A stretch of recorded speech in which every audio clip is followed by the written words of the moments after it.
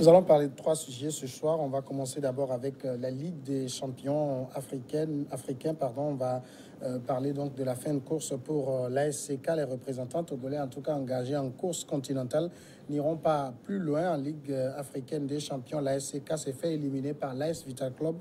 Puis Maranatha FC en Coupe CAF est sorti par le club malien de, de. On en parle avec Hervé Pizza, notre consultant sportif. Bonsoir Hervé Pizza. Bonsoir Samuel. Fin de parcours pour l'ASCK face à l'AS Vita Club. L'ASCK est tombé sur plus fort?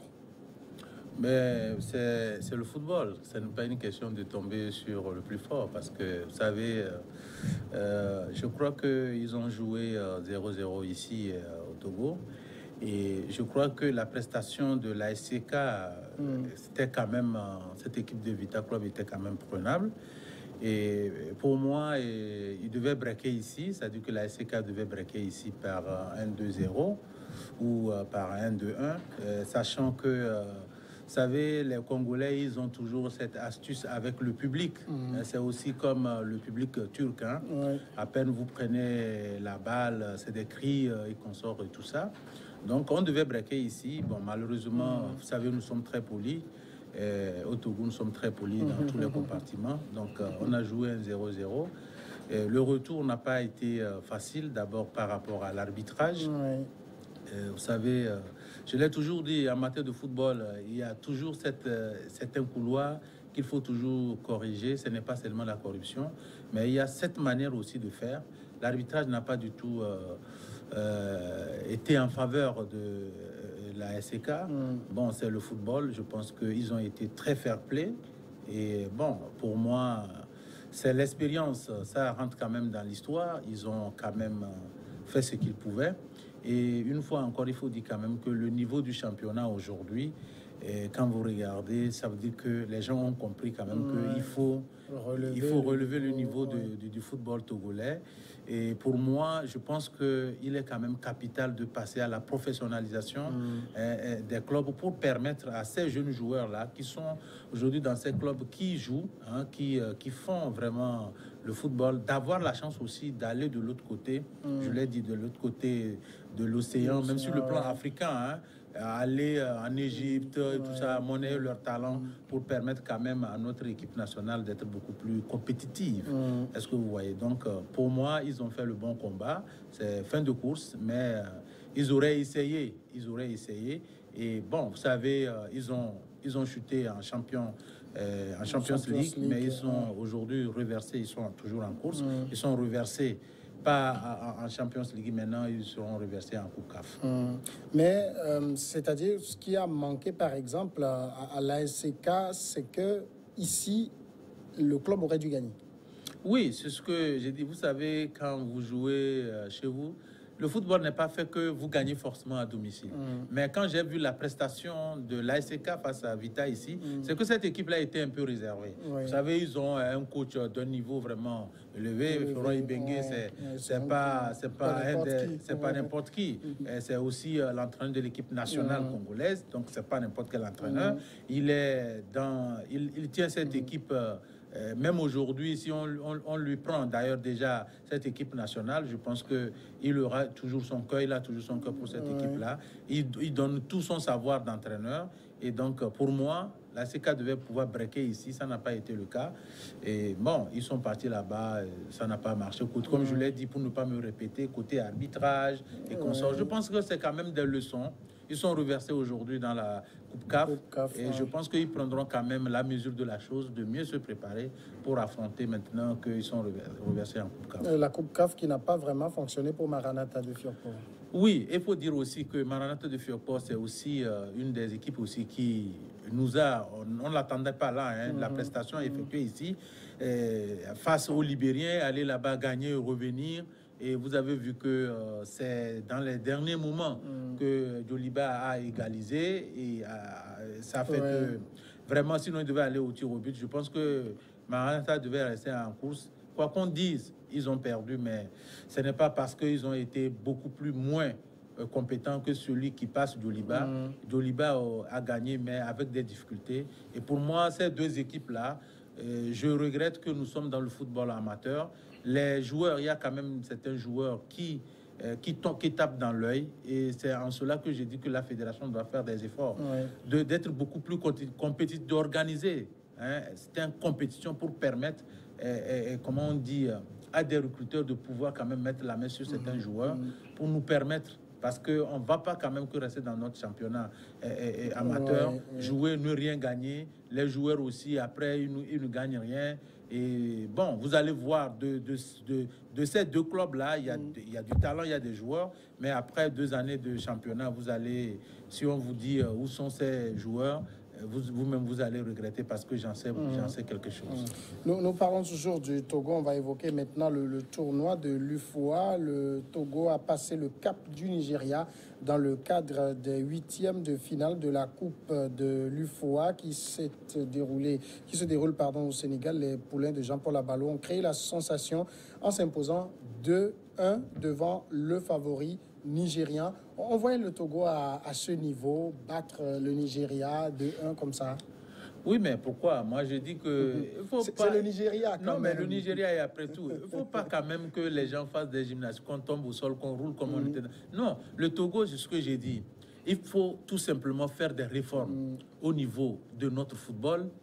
Il faudrait que les, ce que j'ai dit tout le temps, il faut que les présidents de clubs comprennent que si nous passons à une étape supérieure à des réformes réel, c'est eux, qui, eux qui vont gagner. Mhm. Est-ce qu'aujourd'hui, ça plaira à, quelqu'un de mettre de l'argent pour ne pas gagner demain? Non, je ne crois pas. Ça, ça ne s'appelle pas du commerce. Même en football, il faut jouer, il faut gagner.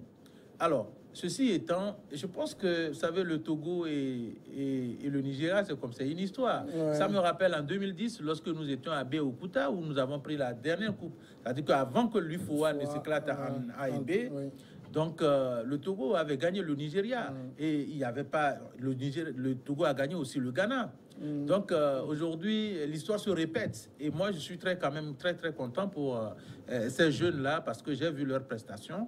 Et ils sont déjà en quart de finale face à la Côte d'Ivoire. Et moi, je, je, ne, je ne veux pas me voir inférieur à ce Nigeria parce que euh, c'est vrai que c'est une grande nation de football, mais le Togo aussi a une histoire à raconter dans le football mm. et dans le domaine du football des jeunes. Imaginez déjà en 80, euh, en 97, c'est ça, non?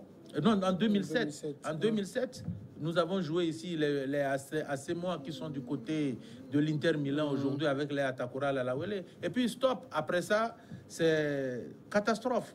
On ne mm-hmm. s'est plus organisé. Donc, veut dire aujourd'hui, quand vous regardez cette euh, D'abord, l'équipe euh, de l'IFOA, B, là, vous regardez que ces jeunes, pour moi, leur prestation, c'est beaucoup plus euh, intéressant que l'équipe nationale elle-même. Mm-hmm. Et ces jeunes-là peuvent même jouer en lieu et place de l'équipe nationale. Mm-hmm. Il faut quand même se le dire. Donc, euh, moi, je les souhaite beaucoup de courage. Et je sais que face à la Côte d'Ivoire, s'ils mettent le sérieux qu'ils ont mis avec, euh, c'est le choix de l'entraîneur. Hein. Ces jeunes, ils jouent, on dirait, ils sont sortis du centre de formation. Ça, ça, ça m'a fait quand même du chaleur. Ça m'a fait revivre le football euh, d'antan de, de, de, de, notre équipe nationale et de notre équipe nationale cadette, bien sûr, à, à Donc, je leur souhaite tout, toutes les chances euh, du monde afin que, quand même, hein, qu'ils puissent gagner ces quarts de finale là et vraiment pourquoi ne pas être finaliste? Mais quand on regarde quand même sur le fond du jeu, ce n'est pas vraiment euh, c'est vrai, victoire 2-1, mais le second but, c'est un but contre son camp. Donc, euh, c'est pas très convaincant pour euh, la suite. Hein. Un but, contre son camp, ça compte. Mais... Samuel, un but contre son camp, ça fait partie du football. Oui, bien sûr. Mais, mais, que ce soit les attaquants qui marquent, comme ça, on est sûr qu'on a quand, du répondant. Quand un attaquant fait de la pression et qu'un défenseur marque contre son camp, mm. je vous dis, c'est du football. Ce n'est pas parce que c'est un but contre son camp, personne ne peut sans sous la pression, marquer un but contre son camp. Mm. Et c'est, je vous dis que ça, il faut, il faut pas dire parce que on n'a pas joué une balle comme ça aussi lentement que un défenseur de l'autre camp adverse a pris pour marquer contre son gardien. Donc je me dis que c'est aussi la tactique, c'est la pression des attaquants, c'est la mm. pression de l'équipe tout entière qui fait que comment une équipe peut marquer contre son camp. Pour moi, il n'y a, y a, pas de, a pas de souci. Les garçons sont bien comportés, ils ont bien joué. Et c'est vrai, la Côte d'Ivoire aussi, c'est une grande nation de football. ils ont aussi, euh, euh, comment l'appelle-t-on, cette compétition-là. Depuis. Et puis le football de jeunes, ça se, ça se joue en, Côte d'Ivoire. Leur championnat est très élevé. Vous savez que leur championnat est passé aujourd'hui sur Canal. Donc c'est quand même très bien suivi. Mais moi, je n'ai pas. Je me dis, même s'ils sont éliminés en quart de finale, c'est ce que nous devons faire dans le championnat, c'est ce que nous devons faire en équipe nationale. Mm. Et bon, déjà en quart de finale, quand vous compétissez, vous arrivez en quart de finale, ça veut dire que franchement, l'entraîneur a vraiment un schéma, il a, il a quelque chose, il a lu, il a joué avant d'arriver là. Donc c'est à partir des quarts de finale qu'on apprécie un entraîneur de toutes les façons. Et pour moi, Abalo de il fait du bon boulot. Il faut maintenant lui donner les moyens. Mais les moyens, c'est quoi? C'est qu'il faut qu'on ait un championnat plus élevé que ceci pour permettre hein, à l'équipe nationale, que ce soit A ou B, de pouvoir faire correctement le mm. travail pour que nous, les Togolais, nous soyons fiers de notre équipe pour que nous ne nous considérons pas comme des êtres inférieurs aux autres. Aux autres nations. La Ligue des champions européennes, maintenant le euh, PSG qui euh, commence très fort après la victoire de Prestige, la confirmation en territoire hostile. Le PSG en signant mardi un second succès d'affilée en Ligue des champions sur le terrain de Galatasaray 1-0 a démontré que la leçon inaugurale infligée au Real Madrid 3-0 n'avait rien d'un hasard. On a fait un match avec beaucoup de personnalité, un match vraiment dur dans le vestiaire. Tout le monde réalise qu'on a bien travaillé. On voit avec Pisa ce PSG, en tout cas pour la Ligue des Champions 2019-2020, il commence très fort. Il ne faut pas aller très vite en besogne. vous savez, euh, vous avez euh, un Real Madrid, déchiqueté. Nous avons compris euh, comment est-ce que ça s'est passé. C'est vrai, il faut féliciter qu'ils ont fait fort devant le Real Madrid. Mm. Mais devant que ce n'était pas le grand PSG. il n'y avait pas Mbappé, il n'y avait pas Cavani sur le terrain, ni Neymar. Donc, euh, je, je, vais vous dire, je vais vous dire une chose. Vous savez, le problème de Paris Saint-Germain, et ne soyez pas surpris que peut-être même que Paris Saint-Germain ne soit pas qualifié, mais rentrer en poule. Mm. S'il vous plaît. C'est vrai que à l'instar de toutes les équipes aujourd'hui qui ont joué les phases aller-retour, il n'y a que le PSG qui comptabilise 6 points. Quand je regarde Liverpool qui a perdu mm. son premier match, difficilement il a gagné le euh, second. Et, Barcelone qui a fait un match nul avec une victoire. Donc il n'y a que le PSG qui a 6 mm-hmm. points. Mm. Bon, c'est vrai, quand vous regardez le niveau, c'est ce qu'on dit, vous regardez un peu le niveau du championnat de, de, France. Mais avec les stars, les talents du PSG, ça ne peut qu'être comme ça.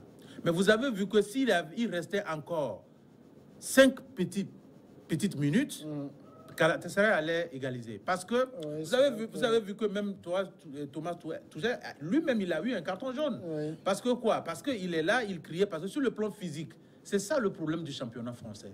Physiquement. Et c'est ça le problème du pays. Oui, le physique, on ne tient pas. Oh, ils jouent comme des mademoiselles. Le football est un jeu de contact. Est-ce que vous voyez, est que vous voyez? Donc aujourd'hui, face au Real, avec le Real, le physique, ce n'était pas, vous avez le championnat espagnol, c'était vraiment pas ça. Mais le championnat turc, le championnat anglais et autres, c'est du physique. Mm. Aujourd'hui, ils ont joué avec euh, Galatasaray. Vous avez vu, j'ai dit cinq petites minutes et que cela allait égaliser. Donc pour moi, ce n'est pas qu'ils ont fait fort, ça dépend des rencontres, ça mm. dépend du réveil des autres équipes, ça dépend des tactiques des autres il y a encore des matchs à jouer. Il ne faut pas déjà que le PSG commence par se bomber le torse parce que nous sommes en football et tout peut arriver. Mais pour le moment, euh, c'est lui, vous l'avez dit, qui est en tête. Et ça, c'est ça, il ne joue pas au hasard non plus. Non, ce n'est pas un hasard. Je ne dis pas non plus qu'ils n'ont pas joué. Mm. Mais je dis les faiblesses de, du PSG parce qu'ils n'ont pas le physique. Et quand vous sortez de la Champions League, mm. c'est les meilleurs des meilleurs des championnats euh, euh, des autres pays différents. Et ça se voit. Quand vous, le, le jeu qu'ils ont fait avec le Real Madrid, l'intensité, c'est pas la même chose avec Galatasaray. Vous avez vu que eux-mêmes, ils sont tombés, nombreux sont, ils étaient toujours au sol, l'entraîneur était agacé, il criait sur euh, l'arbitre central, ce qui même l'a coupé d'un carton. Et j'imagine un peu les autres clubs à venir. Mhm. Est-ce qu'ils seront D'abord, vous voyez championnat, et Champions, League, et tout ça, il faut vraiment avoir un effectif aussi costaud. Et le, le niveau, comme je l'ai dit, c'est le, comment le niveau du championnat. quand vous regardez, comment on appelle en Angleterre, ça joue fort. Vous regardez en, Italie, ça joue fort. Vous regardez en Turquie, ça joue fort. Il n'y a, a que en Espagne où ça joue un peu moins fort, mais ça joue très technique, ça joue en rideau, dans les trous de souris, alors que ce n'est pas forcément ce que le PSG fait. Pour moi, c'est vrai, ils ont gagné les deux matchs, ils ont six points, mm-hmm. mais euh, c'est du wait and see. D'accord, on va attendre et suivre euh, cela et nous, nous en reparlerons forcément ici. Merci Hervé Pizarre. C'est moi qui vous dis merci. Euh, pause 10 minutes et puis regard croisé.